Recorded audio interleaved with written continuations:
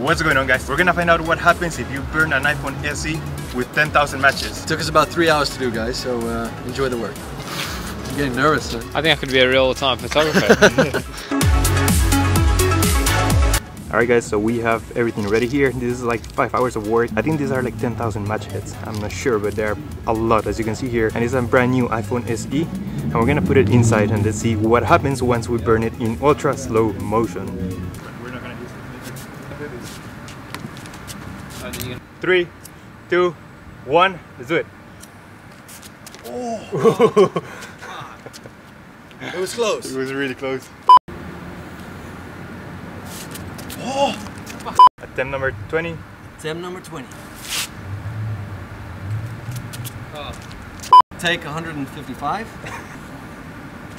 oh my god! That was that one was in. That was in. I know it was man, that was close. Oh my god!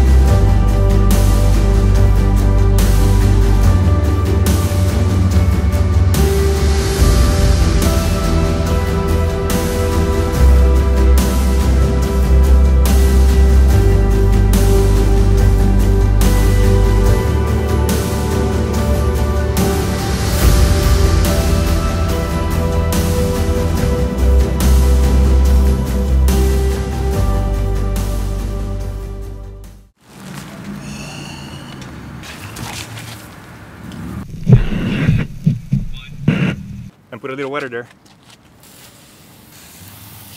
It's steaming, dude. Dude, that explosion was crazy. Oh, it seems to be We did? Oh, temperature too high. that makes sense. Temperature but too- look, look at the green. It's still working dude. Yeah. And I've poured some water on it as well. Phone needs to cool down before you can use it. Check guys, it's still working. Time as you can see is 9.20. Oh, the football started. Check out the back. Is it roasted? I mean, you can you can just get rid of this. If you give this a good polish, it'll look, I wouldn't say as good as new, but it, it'll look fine. Holy shit, that's cool. That's fucking cool, man. Jeez, that is fucking cool. Awesome, man. Guys, I hope you enjoyed the video. Don't forget to subscribe. See you next time. Take care.